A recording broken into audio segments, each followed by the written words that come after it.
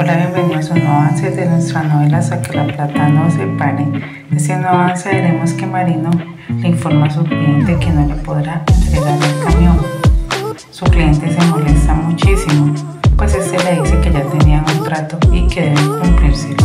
Don Ezequiel le dice a Isa que Alejandra ya no tendrá oportunidad en Ramen Autos. Isa siente mucha tristeza por lo sucedido. La pajarita llama a Jaime muy angustiada y le dice que Méndez tiene otra mujer y se desahoga dándole un beso. Jaime se aterra muchísimo.